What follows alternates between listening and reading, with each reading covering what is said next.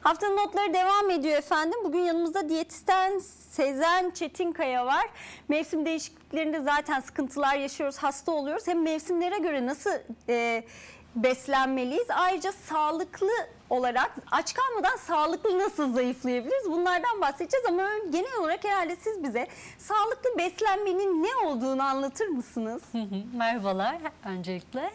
Ee, sağlıklı beslenme aslında çok çok geniş bir konu ama biz tabii ki biraz toparlamaya çalışalım. İlk sorunuz mevsimlere göre beslenmekten bahsettik. Ee, geçiş dönemindeyiz, kışa gireceğiz. Ee, yoğun antioksidan almamız gerekiyor, yoğun C vitamini tüketmemiz gerekir, yoğun posa tüketmemiz gerekir ki vücuttaki atık maddeleri, toksin maddeleri vücuttan atabilelim ve bağışıklığımız düşmesin. Eğer bunun tam tersi beslenirsek fast food beslenme gibi hamur içi beslenme ya da sürekli which calls um, poğaça, simit gibi beslenmeler olursa tabii ki vitamin mineralden eksik kalacağız. Antioksidan miktarımız eksik kalacak. C vitaminlerimiz düşük olacağı için de bağışıklık düşecek ve hastalıklara yakalanma riskimiz de artacaktır. Evet ben herhalde bu dediğiniz gibi beslenemediğim için, besleyemediğim için kendimi bu ara hastayım. Evet yani bu mevsim geçişlerinde özellikle çok daha dikkat etmemiz gerekiyor değil mi beslenme şekillerimize? Peki sağlıklı beslenmek için yani biz hem zayıflamak istiyoruz hem aç kalmak istemiyoruz hem sağlıklı bir şekilde zayıflamak istiyoruz. Bir sürü diyet listeleri vesaireleri var ama herkese uymuyor tabii. Sağlıklı beslenmek için ne yapmamız gerekiyor? Sağlıklı beslenip zayıflayabilmek için. Ee, aslında insanlar bunu tamamen yanlış anlıyor. Sağlıklı beslenmek mi, diyet mi? Diyet dediğinizde direkt zayıflama. Evet Ve- zayıflama odaklı bakıyoruz. Evet, daha zayıflama odaklı, daha hızlı nasıl zayıflarım, neyi tüketerek zayıflarım, hangi besini yersem zayıflarım gibi bir algı var. Önce bence bunu bir yıkmak gerekiyor. Bunu yenmeliyiz. Nasıl daha sağlıklı beslenirim? Çünkü sağlıklı beslendiğinizde zaten vücudunuz olması gereken beden kütle indeksine ulaşacak. Ulaşıyor. Eğer çok şişmansa zaten olması gereken duruma düşecek ya da zayıfsa olması gereken BKI değerlerine zaten çıkacak. Peki sağlıklı beslenmeden bizim kastımız nedir? E, dengeli bir tabak. İlk amacımız dengeli bir tabak istiyoruz. Bütün öğünlerinizde bunu istiyorum. Yani sabah kahvaltısında da, öğle yemeğinde de, akşam yemeğinde de bunları istiyorum. Dengeli tabaktan kastım nedir? Mutlaka sebze meyve, mutlaka protein, mutlaka bir tahıl grubu, mutlaka bir süt ürünleri Peki olsun biliyor muyuz sizce biz Türk insanı olarak sağlıklı beslenmeyi biliyor muyuz? Biz sağlıklı beslenmeyi e, daha öncelerden atamız şöyle yapmış, işte dedelerimiz şöyle yapmış gibi devam ederek aynı şekilde onlar böyle beslenmiş, biz de böyle beslenirsek sağlıklı oluruzu e, oraya bağlıyoruz. Hmm. Ama ben şöyle diyorum. O dönemin besinleriyle bu dönemin besinleri aynı Çok değil. farklı, Bu yaşam dönem tarzı da tamamen farklı. farklı. Yaşam tarzları farklı. O dönem sabah erkenden kalkıp tarlaya gidip çalışan insanlar bugün e, 8-9'a kadar uyuyup Evet. bütün gün bilgisayar başında çalışabiliyoruz. E, onun için Türk insanı sağlıklı beslenmeyi e, tam anlamıyla bilmiyor. Sevmiyoruz da belki de sağlıklı beslenmeyi. Acaba Evet. işimize mi gelmiyor sağlıklı beslenmek? Evet çünkü lezzeti veren şey yağ ve tuz. Eğer yağı, tuzu ve şekeri bir yerden kaldırırsanız lezzet gidecektir. Biz biraz daha lezzet arıyoruz.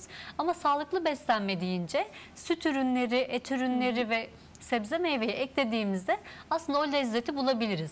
Biz tek yönlü beslenmeye alıştık. Yani sadece yoğun bir pilav ya da hamur işiyle beslendiğimiz için e, o olmadığında ya da ekmek olmadığında sofradan doyamadan Doymuyoruz, kalkacağımızı düşünüyoruz. Ee, ama tabii bu şekilde değil.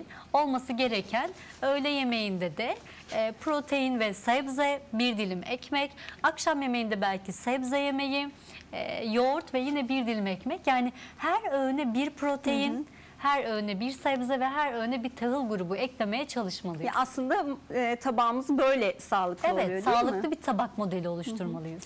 Peki birçok diyet e, modelleri var. Bizde şimdi e, kış geliyor artık biz de bayanlarda yaz bitti kilo almaya başladık. Harıl harıl nasıl zayıflasak diye bakıyoruz. Birçok diyet modeli var. Peki biz hangisinin kendimize uygun olduğunu nasıl anlayacağız?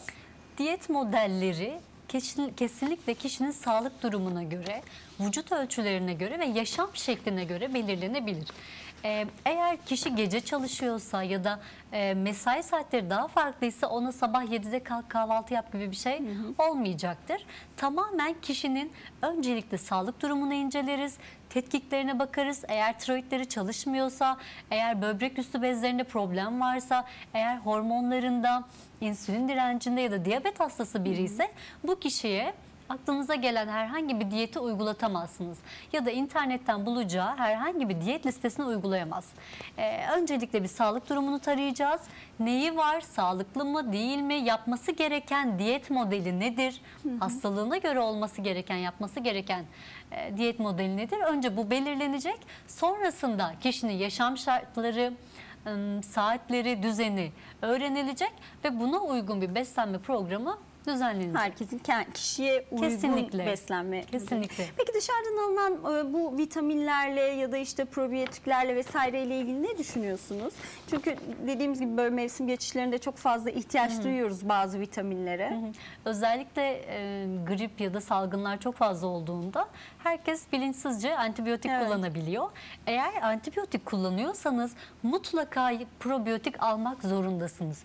Antibiyotik dediğimiz şey vücuttaki daha doğrusu bağırsaktaki faydalı, faydalı bakterileri de öldüren değil mi? Orayı temizleyen bir sistem aslında. Eğer ben oradaki bakterileri çekersem yani eğer bağırsakta bakteriler olmazsa emilim gerçekleşmez. Bağışıklık yine düşecektir ve e, yine aynı şekilde e, hastalıklar devam edecektir. Bu burada da benim probiyotiği kullanmam Evet, gerekiyor. probiyotiği biz çok fazla bilmiyoruz ama. Evet, probiyotik deyince herkes turşu anlıyor. değil. Ev turşusu Hiç aklıma değil. gelmemişti probiyotik deyince turşu. Evet, herkes sirke, turşu değil mi? Hmm, kefir, evet bunlarda probiyotik var. Eğer düzgün yapılmışsa, hijyenik koşullar sağlanmışsa ve bakterileri e, öldürmeyecek şekilde hijyen ve sanitasyon sağlanmışsa probiyotik sağlarsınız. Probiyotiği elde ederiz. Ama bunlar sağlanmamışsa probiyotik yoktur. E, yapmamız gereken bence kesinlikle önerdiğim herkesin özellikle mevsim geçişlerinde eczaneden probiyotik hap alması. Probiyotik takviye almak zorundayız. Düzenli kefir kullanıyorum ya da kefir yapıyorum ya da yoğurdumu kendim yapıyorum diyorsanız tamam ama sürekli değilse düzenli bir şekilde hayatınızda probiyotik yoksa kesinlikle Dışarıdan takviye olarak takviye probiyotik gerekiyor. almak zorundayız. Toksinler var. Bir sürü kışın e, hava kirliliği var, su kirliliği var. Yediğimiz paketli ürünlerin içerisinde bir sürü toksik, bir sürü atık madde var. Bunlarla savaşabilmemiz için faydalı bakterilere yani probiyotiklere ihtiyacımız var. Mutlaka bu zamanlarda Mutlaka, destek mutlaka. almamız gerekiyor değil mi? Son dönemlerde hani çok da ismini duyduğunuz ketojenik beslenme şekli var. Bundan da bahsedebilir miyiz biraz? Ketojenik diyet çok fazla e, uygulanmaya çalışılıyor ama yanlış uygulanıyor. Ketojenik diyetin ana mantığı orta zincirli yağ asitleri dediğimiz MCT'leri yani orta zincirli yağ asitlerinin yoğun olarak kullanılması ve diğerlerinin hmm, işte protein gibi, sebze gibi bunların azaltılması anlamına geliyor. Uygulamada eğer gerçekten ketojenik diyet uygulamaya çalışırsanız çok zordur. Ama tabii ki internetteki ketojenik diyet listeleri tamamen birilerinin şunu şunu da ekleyeyim bu da ketojenik dedikleri listeler. Onun için onları uygulamalarını istemiyorum. Onlar biraz daha protein ağırlıklıdır. Protein ağırlıklı yaparsanız bu sefer Dukan diyetine gidecektir. Ee, eğer ketojenik diyet uygulayacaklarsa kesinlikle bir uzmandan destek almalılar. Ketojenik diyet iyi midir, kötü müdür? Evet iyi yanları var. Çünkü biz birçok hastalıkta ketojenik diyet kullanıyoruz. Eğer ciddi bir obezse, e, yağ metabolizmasında bozukluk varsa ya da çocukta epilepsi varsa gibi hastalıklarda kesinlikle bunu kullanıyoruz. Ama bir süre uzun bir süre daha uzun yıllarca kullanmıyoruz. Ama sağlıklı bir kişi 5 kilo vermek istiyor. Bunun için ketojenik diyet yapmasına gerek yok. Ne yapmam? Ben mesela 5 kilo vermek istiyorum. Ne yapmam gerekiyor? Ee, en önemli kurallardan biri düzen. Eğer hayatınızda düzen yoksa, kahvaltınız düzenli değilse, öğle yemeğiniz ya da akşam yemeğiniz düzenli değilse bunu sağlamak biraz zor. Ee, sirkadyen beslenmede de bunlardan bahseder. Eğer düzenli bir şekilde besleniyorsanız hormonlarınız düzenli salınacak. Ee, atıyorum en ufak bir badem bile yediğinizde insülin salınacaktır. Eğer siz her gün aynı saatlerde öğle yemeği ya da ara öğün yaparsanız aynı saatlerde insülin salınacağı için de Hormonlarınız düzene girecek ve o, o zaman da kilo vermeniz kolaylaşacak. Aslında hayat tarzımızı biraz daha düzenlediğimiz zaman Evet. her şey yoluna giriyor. Evet bu kadar basit aslında. Çok zor değil. Yani bütün gün aç kalmanıza gerek yok. Çok teşekkür ederim programımıza ederim. katıldığınız için. Öğrenmiş olduk ve hemen uygulayacağız bu söylediklerinizi. Çok memnun olurum.